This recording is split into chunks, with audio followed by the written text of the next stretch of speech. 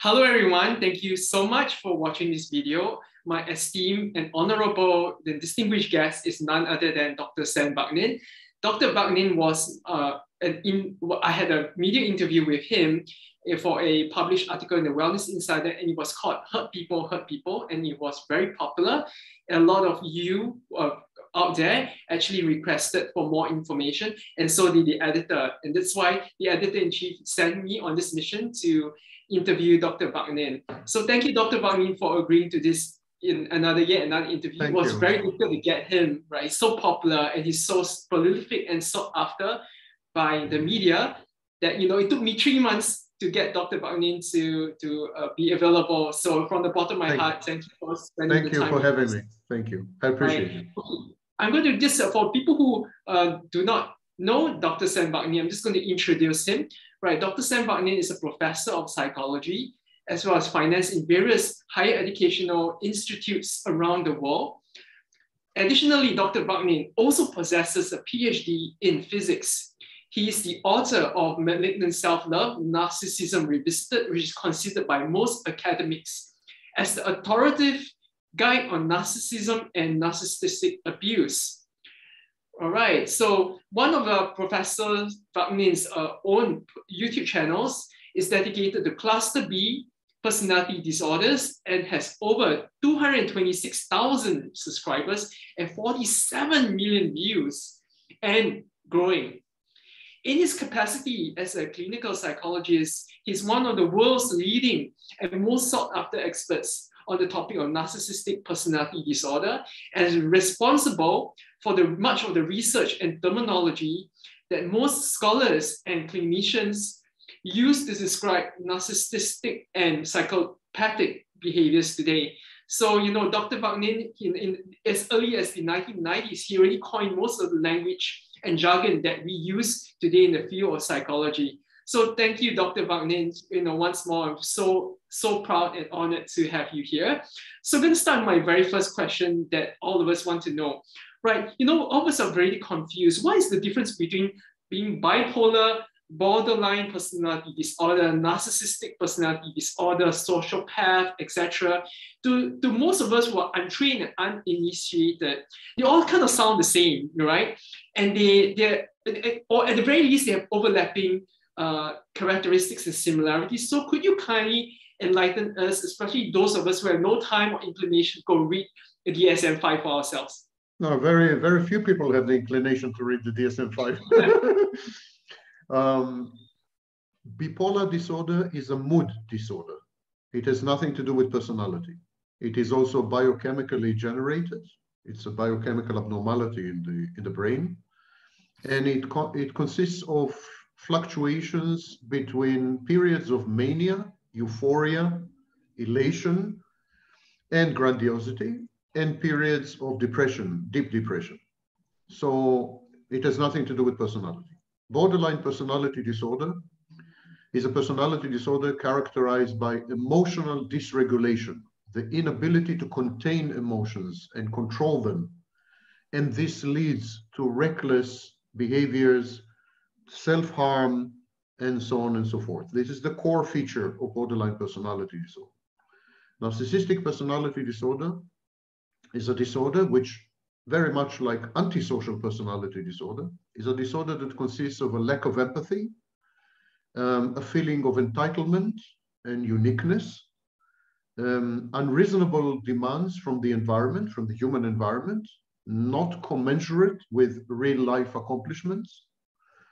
And psychopathy is goal oriented and consists mostly of what we call reactance. Reactance means defiance, rejection of authority, and very often aggression and violence.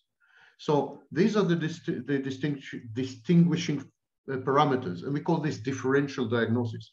But you are right to point out that there is a lot of overlap.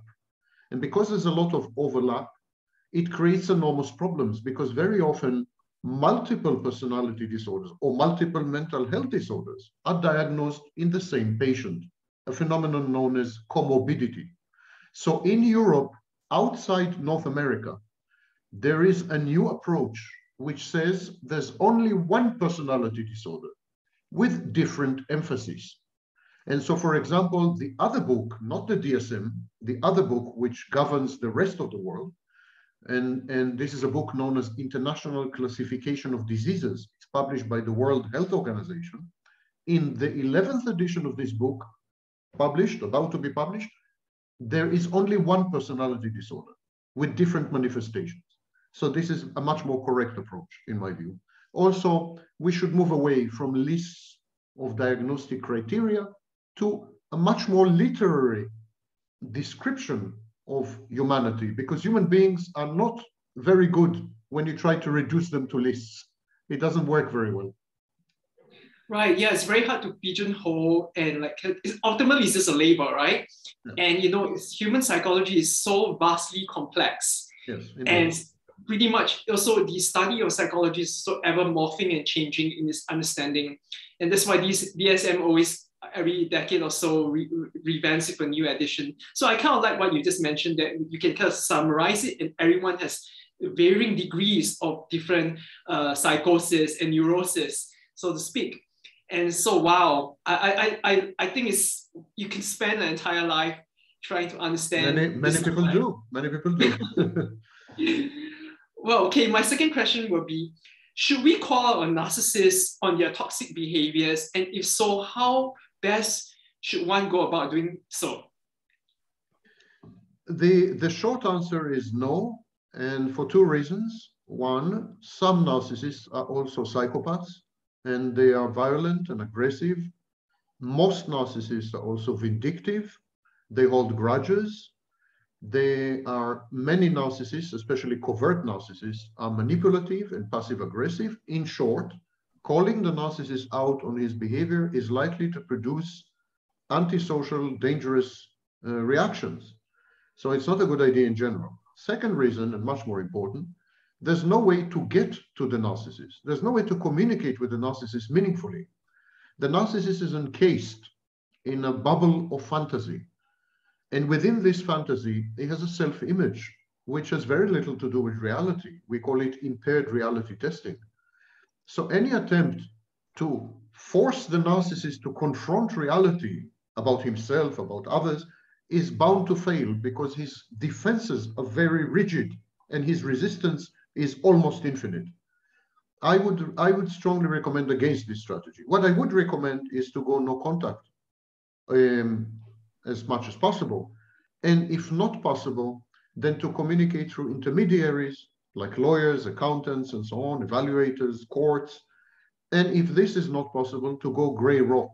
In other words, to not respond to the narcissist's attempts to solicit narcissistic supply or to provoke or to punish, etc. Simply to go soft, no contact, basically.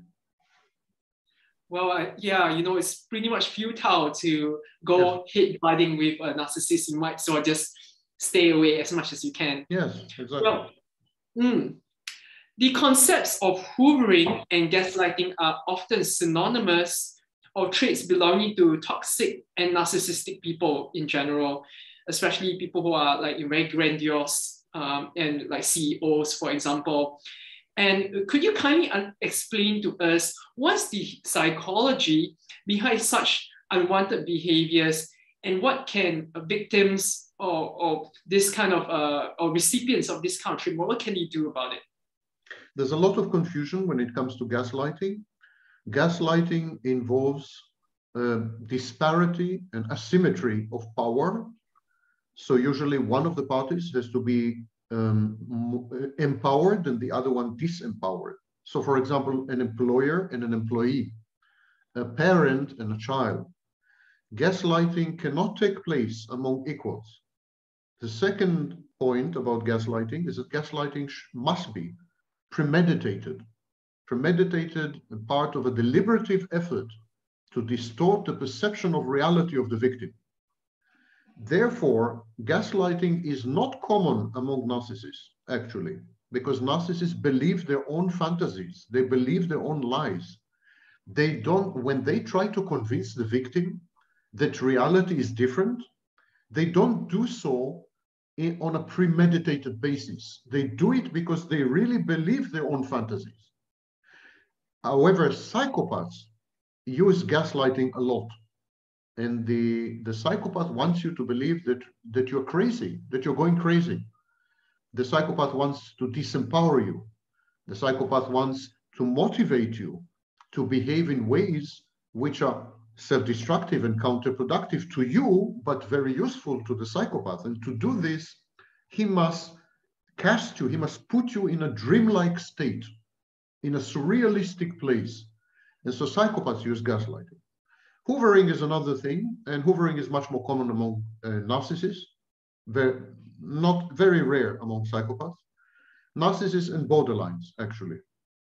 Hoovering is a, is a, is a word that I, I coined in the 90s it, it describes the attempt to regain access uh, to a former intimate partner and reintroduce her into a new shared fantasy. So the narcissist creates a fantasy and then invites you into the fantasy. And if you are a former partner, this invitation would constitute hoovering. Now, hoovering is done using all the classic methods of love bombing, and attempting to convince you that reality is different and, and so on and so forth. The, the reason the narcissist engages in hoovering is that when the intimate partner exits the narcissist's life, even if the narcissist had initiated the breakup, the partner leaves a trace in the narcissist's mind. This trace is called introject. It's an, it's an avatar it's a representation of the partner. So even when she's no longer in the narcissist's life physically, she is in the narcissist's mind, in the narcissist's mind mentally. There's a picture there. I call it a snapshot. Now, the narcissist at some point attempts to rematch the internal representation, the inter inner internal object, with the external object. And this is what we call hoovering. You can put it differently there's, a, there's unfinished business. The narcissist never provides closure. As far as he is concerned, no account is ever settled, and he must, he has something called repetition compulsion. He must revisit all the time old partners, old grievances, old grudges, all, you know, he, he, he is like a hamster, a hamster on a wheel. And hoovering is just the external manifestation of this internal repetition compulsion, which started, of course, in his early childhood when he couldn't reach an accommodation with his parents. And so he is left with the need to find substitute parents and to reenact the unresolved conflicts with them. Wow, what clarity. Thank you so much because, you know, uh, especially the concept of gaslighting is so thrown everywhere, so popular yeah. these days, and people don't fully grasp what it actually is. Yeah, Washington, so, Washington Post, Washington Post just came up with a long mm-hmm. article interviewing the leading authorities on gaslighting, and they are extremely worried about the misuse of this term. Right, yeah, pretty much inaccurate, and also a lot of us, you know, lay people, was even learning new terms like future faking, and you know, which is also a part of a hoovering tactic. And it's just overwhelming for us to suddenly uh, hear so many new terms and digest and try to decipher what they all mean. So, you know, thank you for your clarity. Thank you. Why are some uh, adults so emotionally immature and they just never seem to ever grow up and kind of remain very childish? And, you know, for example, some uh, adult males have really low emotional intelligence and they grow up to be man-childs uh, with very unhealthy fearful, avoidant, dismissive attachment styles. Is there anything that can be ever done about this sort of a Peter Pan complex? Well, people remain children because they were never given the chance to become adults. To become an adult, you must go through two phases, uh, collectively known as separation individuation. The first phase is around age two, and that is when you separate from mother. You begin to set boundaries between you and mother and you become an individual in a process known as individuation. The second phase of separation individuation happen, happens in adolescence. And in adolescence, you define yourself in contradistinction to, in contradiction to your parents. You kind of separate yourself from your parents. This is called negative identity formation. these are critical phases. If you're not allowed to separate from the parent, especially the mother, and if you're not allowed to set boundaries, you're punished whenever you set boundaries. If your boundaries are breached and violated on a regular basis, not respected, if you're disrespected as an individual, if you're not therefore allowed to become your own person, an individual, like an atom, if you are not given this opportunity, actively or passively, if the parents are selfish, if the parents abuse you, if the parents instrumentalize you in order to realize their unfulfilled dreams, wishes, and hopes, if they parentify you, if they force you to act as the parent to the parents, you are the adult and they are the children. If they are immature, the parents are immature, etc., you will never be given an opportunity to grow up. Growing up involves saying goodbye to your parents and becoming your own person. But the parents have a crucial role in helping you to do this. They need to legitimize this. They need to encourage you. They need to never punish you whenever you show independence and autonomy. They need to not use you and abuse you. They need to not instrumentalize you and parentify you. If they fail in all this because they themselves are children, then you remain you remain a child. Now, as to the question, what can be done about this? Attachment styles rarely change, but behaviors can be modified in therapy, for example. So you can learn to act as an adult, even if your internal experience is that of a child. You can still learn to act as an adult. However, I regret to inform you that attachment styles are usually, not always, but in the vast majority of cases, they're lifelong. So if you develop an attachment style, which is, for example, avoidant dismissive, if you fear intimacy, then you are very unlikely, this is very unlikely to change over the lifespan. You need to find a partner who accommodates this and maybe have the same attachment style. So for example, maybe you should have a long distance relationship, or you should not cohabit, or you should not get married, or you should have only companionship, or you should have friends with benefits. Today, luckily, there are many diverse and flexible solutions for each attachment style and each psychological problem. Well, I guess, you know, uh, what you just described makes a lot of sense because I realized uh, even with myself and a lot of people around me, we tend to find partners that uh, kind of resemble and are very similar, identical to our own parents very most people have daddy issues, mommy issues, and you find the partners exactly just like their parents in terms of personality and characteristics. For myself, I used to have a fearful uh, attachment style, and, and in order to change it, it took a lot of self-awareness and a lot of years of therapy and consciously working on it to remove away that fear and to and and and it's just so it takes a lot of commitment and a strong desire as not as well as a consciousness and awareness to do that. So I can attest that it's actually not easy.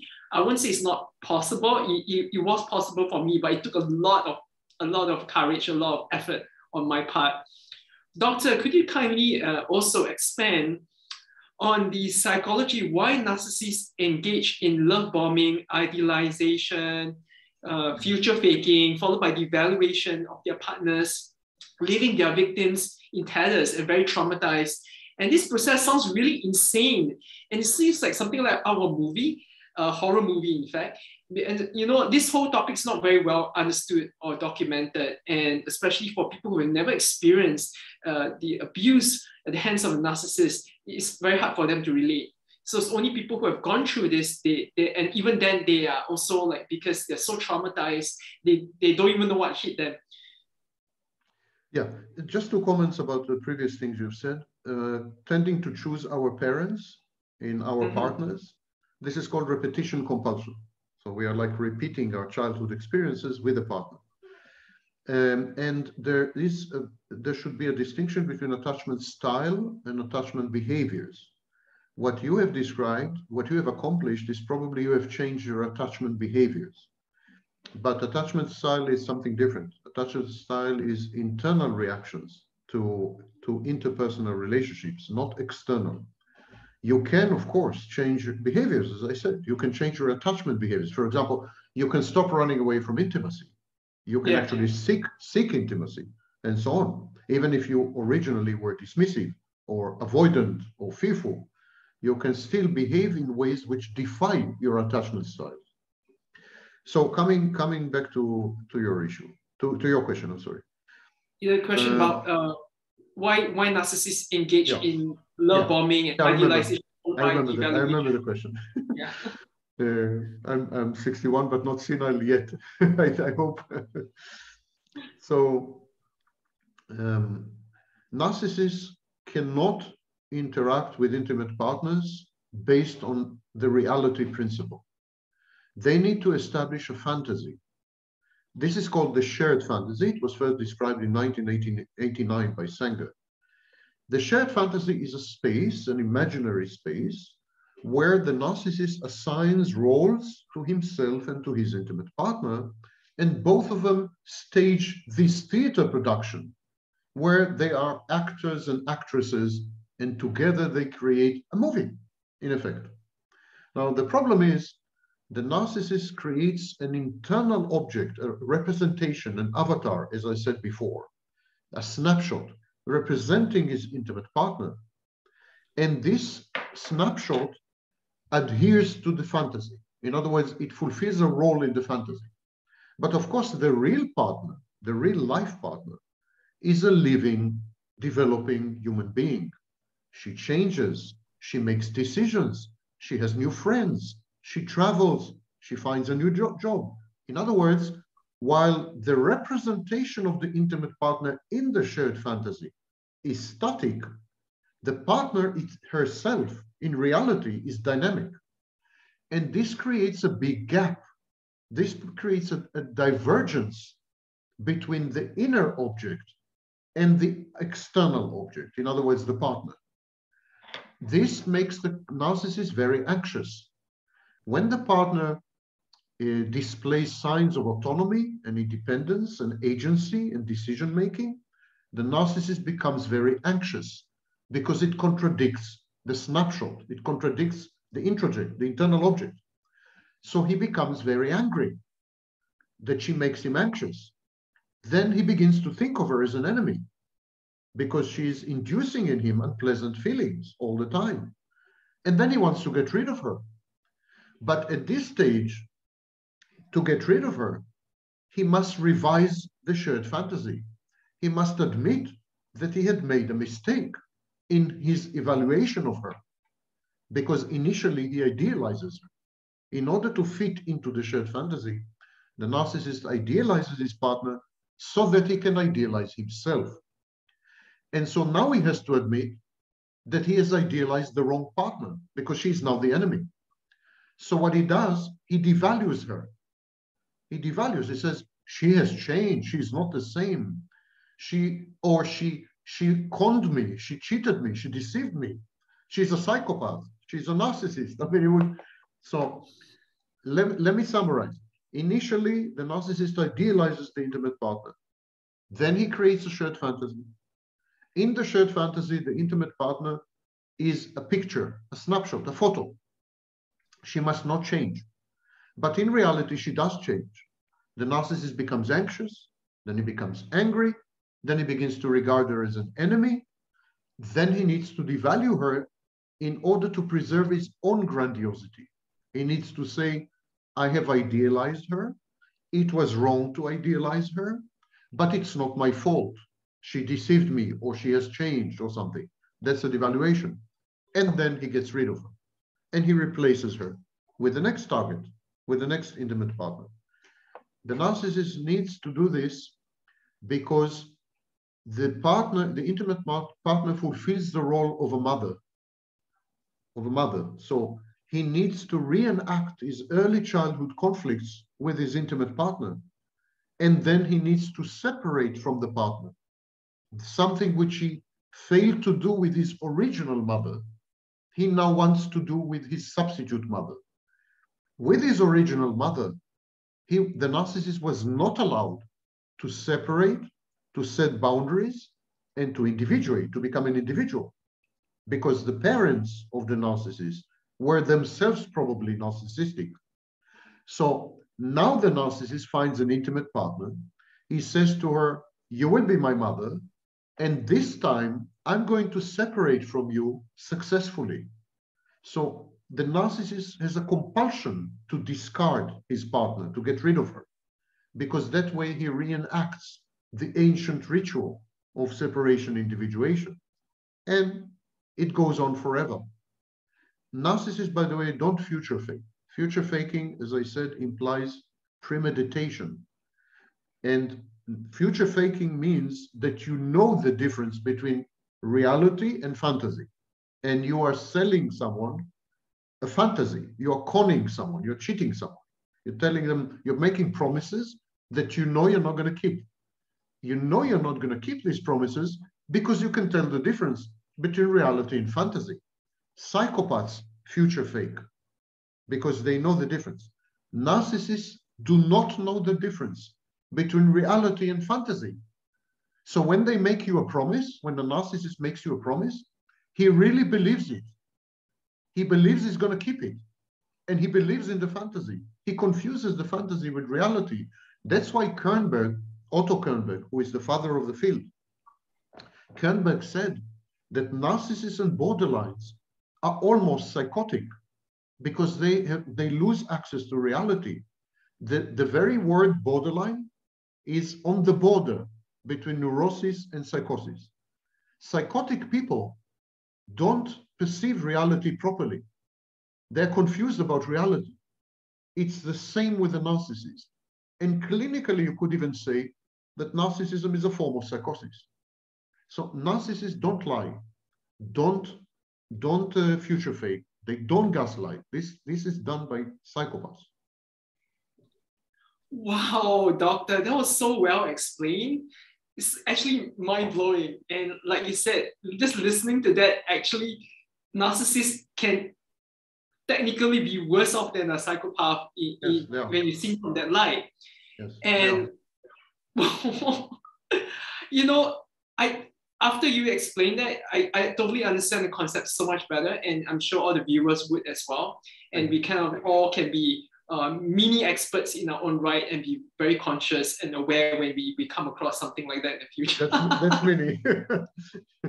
that's my mini car. So all right. Um, all mini mini experts. I love it. It has been said that narcissists are unable to change or it's extremely difficult for them to turn over a new leaf some argue that they can change, but it takes a lot of self-awareness and willingness on their part, and if they seek proper and consistent treatment for their conditions. What's your own professional opinion and experience on this? I also am aware of a, a technique that you call co-therapy that was invented by you uh, for the treatment of narcissism. So could you elaborate?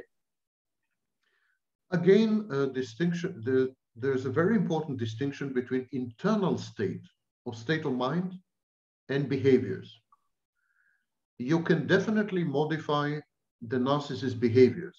You can teach the narcissist to be less abrasive, less aggressive, more accommodating, more compromising, more, more of a team worker, more, uh, more pleasant, and so on and so forth. You can domesticate the narcissist. You can, like, you know, like a pet. You can, you can teach the narcissist new tricks. And the narcissist can appear to be, after therapy, um, a much more pro-social person. Initially, the narcissist is antisocial in majority of cases, but after therapy, many narcissists become pro-social. Actually, in, in the mid-90s, I suggested there's a type of narcissist, which I, I coined the phrase pro-social or communal narcissist to describe this kind of narcissist. These are narcissists whose grandiosity lies in being helpful to society, being altruistic, being charitable, contributing um, to society. So you can train narcissists to, to transition from antisocial to pro-social and function perfectly. However, it doesn't change their internal landscape, their internal state. So they still remain grandiose. They still have no empathy. They still have no access to positive emotions. Categorically, these things cannot be changed. End of story. Anyone who says differently is a con artist or ignorant, and usually both. Period. There's no qualification here, no, no shades of gray. The internal state of the narcissist cannot be modified. His behaviors can, and render him more palatable and acceptable to society and to his family, to his, to his children, and so on.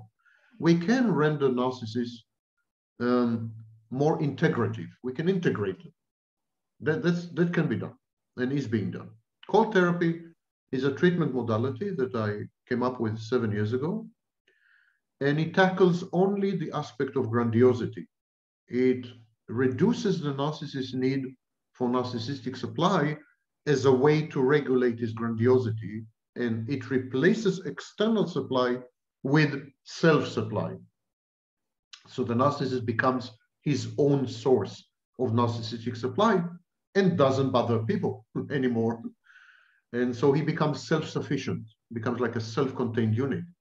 Cold therapy is very dangerous therapy. We, I re-traumatize the narcissist.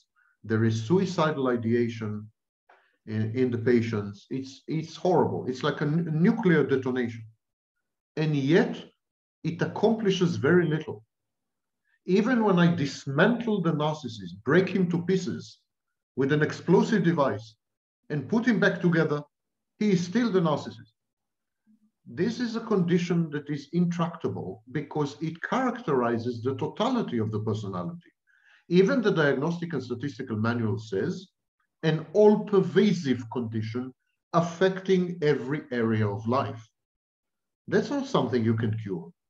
I'm not talking about nonsense like psychedelics, which are supposed to treat narcissism, or I don't know, some genes. Uh, I mean, this is such incredible nonsense. It's narcissism is way too complex for a single magic silver bullet. And even to change behaviors requires many, many years of therapy and a lot of patience on behalf of the clinician and the practitioner because narcissists really, really test you to the limit as a therapist. They're arrogant, they compete with you, they know best, they devalue the therapist, and so on. Few therapists are willing to go through this. Most of them would not accept borderline and narcissist patients. Another thing, one last thing with your permission. People confuse narcissism and grandiosity. Grandiosity is a trait which exists in many mental health conditions. For example, there is grandiosity in bipolar disorder. There is grandiosity in psychopathy. There is grandiosity in borderline personality disorder. And eh, there is grandiosity in paranoid personality disorder. Grandiosity is not narcissism. They should not be confused.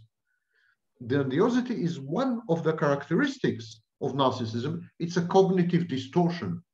It's a way to filter reality to support a specific inflated self-image but it's not unique to narcissism. That's why many self-styled experts spew nonsense and say that all psychopaths are narcissists. Of course, that's not true. All psychopaths are grandiose, but that is not narcissism.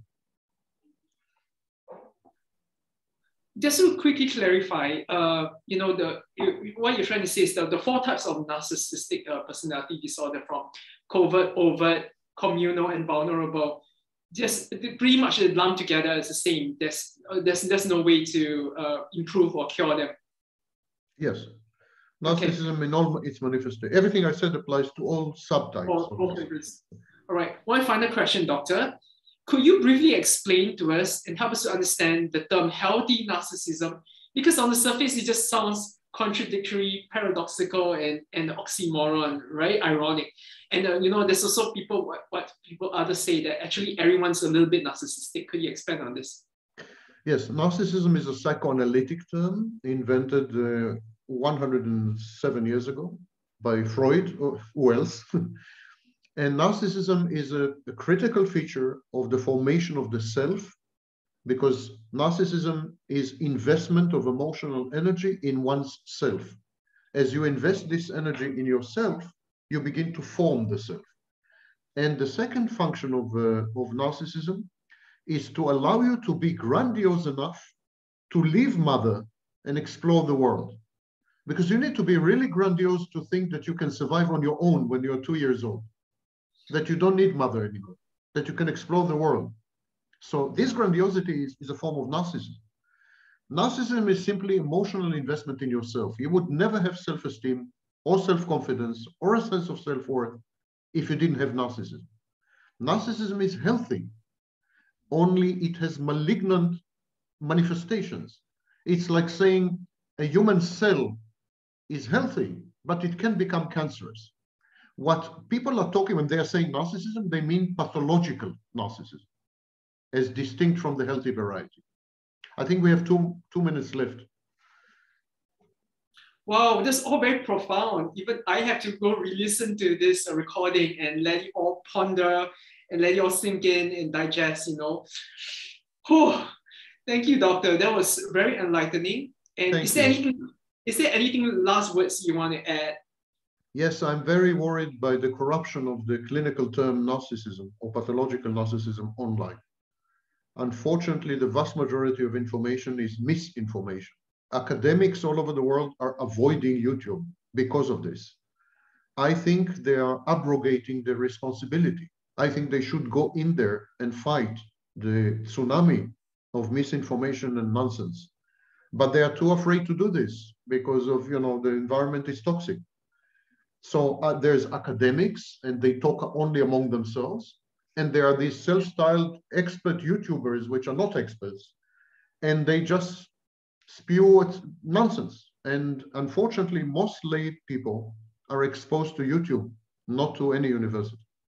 Yes, I started that way too. There's also Everyone when, yeah, yeah, you know, only when I did much in-depth research did I manage to find you, and thank God for that. You know, so that's why that's why this video is so important and significant, and necessary that we put uh, bona fide, authentic information. Is that hearing from the horse's mouth is much more crucial than say something when you can Google search all this information, but nothing beats hearing from a professor of psychology and a, you know someone who have a PhD. I wish I. I really hope, my- I Yeah. really hope my colleagues he- hear your message because I think it, they have a, a public responsibility to, to go into the firing, into the fire, in the front line and, and Yes. dispense information.